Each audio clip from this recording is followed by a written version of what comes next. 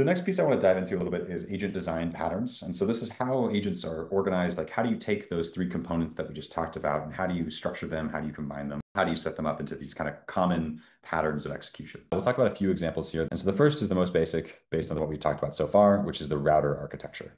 Uh, and so that's just using a pure router to say, okay, for a given input, I'm going to take that given input, call an LLM uh, or some uh, classification model, and then decide to call go down one of these different um, skill paths. So in this example, this is a looks like a database lookup agent here uh, or database kind of copilot. So it can look up data for you, it can analyze that data, and then it can visualize that data from there. So in this flow, you take a user input, you see the different possible options, go down one of those skills, complete that skill, and give the input, uh, the output back to the user. So this is kind of the most straightforward path that you could follow, uh, where you're basically just taking an input and then seeing going down one of the skills, getting back to the user. Um, this is very simple and straightforward if you don't need to kind of take multiple actions to answer the user's question. If each of your different skills uh, that you can go down the path of are kind of self-contained in that way. Um, however, this kind of uh, this kind of basic architecture so far wouldn't necessarily work if you needed to take the output of one of those skills and feed it back into your system because this is kind of just linear in this case. Uh, so you might need to add in cycles. And as we talk through these as well, too, the other thing to kind of keep in your mind is that the simpler uh, one of these architectures is, or the simpler um, kind of system that you have, the more consistent it will be as well too. Um, the more LLM calls you introduce, the more variability you're going to introduce, which is going to make it harder to get consistent outputs out of your application. So you might be looking at this and be like, this is too simple. This is not going to really address the need that we have. I will tell you that this is actually the exact architecture that is used for a production agent that Arize has that runs a copilot in our dashboard where it will run to a particular skill, complete that skill, and give the answer back to a user. Uh, and we've been able to have a lot of success with that Copilot agent because it's so simple in that case in its architecture. So first of these is the router architecture. The next is kind of, you can probably see where that was going, the more complex kind of orchestrator architecture, which is similar to the previous one that we looked at with the one big difference being that after the skill is complete, you return back to your LLM router or something similar to it to then uh, either decide I'm going to call another tool there, or I'm going to return back to the user.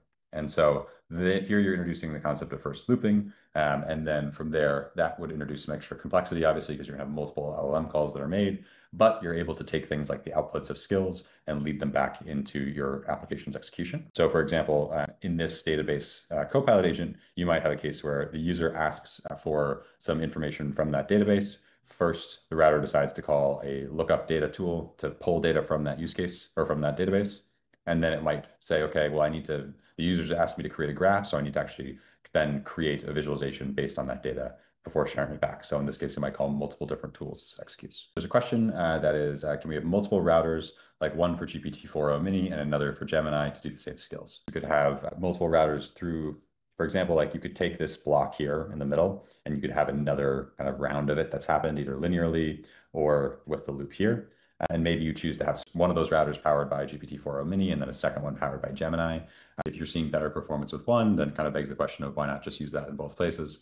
You can use both, um, but it's just may introduce additional overhead that you don't need to, to use different models there. And then beyond that, thinking into some other architectures that we often see, you might have one that's more of a sequential or prompt chaining architecture where you are, uh, you know that you're going to go down a very specific workflow. Uh, and maybe you have a couple decisions that are made as you go through that workflow. However, um, they're pretty straightforward in this case, and you know that you're going to go down a particular path. An example of this type of flow uh, is one that we can give is say you have a an agent that produces social media um, posts for you. And so you might have a first step there be um, researching a given topic.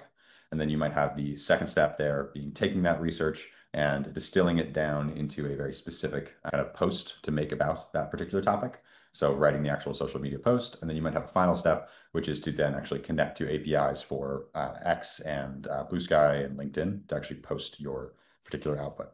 So you might have kind of these linear workflows there, and you may have a decision gate that's made at some point within that to say, okay, if we weren't able to find enough information, or if the post quality isn't high enough, maybe you're using an LLM to make that that judgment, then abort, or then go back and, and research again there. So you might have kind of this more sequential chaining architecture. And for those that are paying attention, you're probably realizing that there's some fuzziness between these different architectures because depending on how many tools you have, how many skills you have, things like that, you might have a case where a routing logic system looks very similar to a prompt chaining system.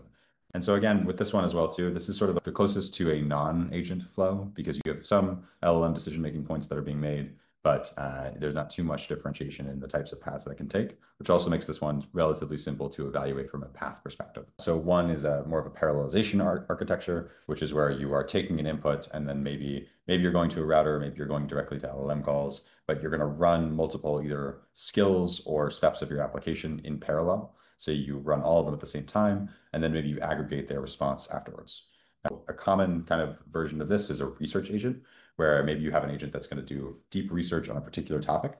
And so first you take in an input from a user, then oftentimes you'll decompose that into different kind of subqueries to say, okay, maybe the user is asking to research ancient Greece. I'm going to create three different search queries there that are ancient Greek history, uh, ancient Greek um, geography, and then culture and then run all of those searches in parallel, have my system go out and run each of those in parallel to each other, get the response back from each of those different ones and aggregate that back into a single report. So this is really just to kind of get you thinking that you can run certain skills in parallel to speed up your agent. That's always a common technique that you can do. Uh, so know that you can parallelize the skills as you run. And then one more that we'll cover here, uh, which is the evaluator optimizer architecture. And the idea here is that you introduce a, a concept of a critique step. So you maybe generate a response back from a so say you get a user input, you generate a response, and then you add in a step here which criticizes that response. It says, hey, this could be made better in this way.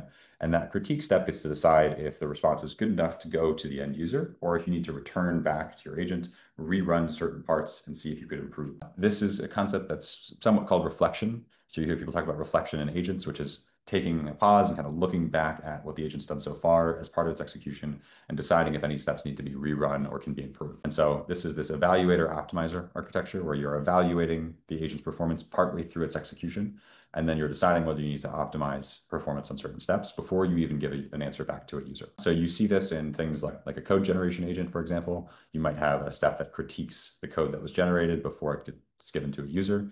Um, and you might have it in, say, copyright generator as well, too. So if you had a copywriting agent that could uh, write for you, you might introduce a critique step to critique the, the writing and see if it was correct in that case.